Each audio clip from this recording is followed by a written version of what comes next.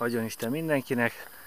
Mai kirándulás alkalmával Sukorón a kőbánya területén vagyunk, ez Pákozd mellett, és ez az egész hegy rész, ez egy gránit hegy, és ez egy gránit kibújás terepben, és elég sok itt a gránit.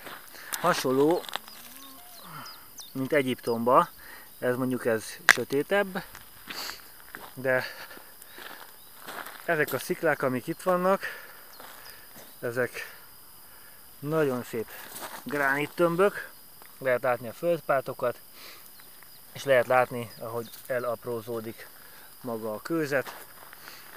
Ez a természet alkotta gránit, tehát ez nem emberi alkotás. Az emberi alkotást egy kicsit másképpen néznek ki a földpátok, hogy egyik a másikkal összecsatlakozik. Szépen csillognak, villognak a földpátok,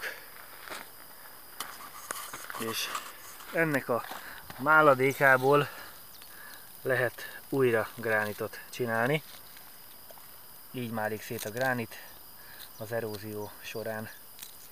Ez az aprózódás, és fel lehet támasztani újra és újra ezeket az isteneket.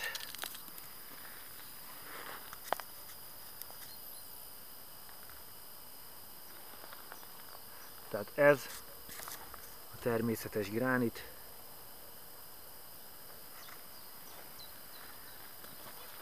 Aztán majd a mesterségetes is, mesterségeset is megmutatom, hogyan kell készíteni. Isten áldjon meneteket!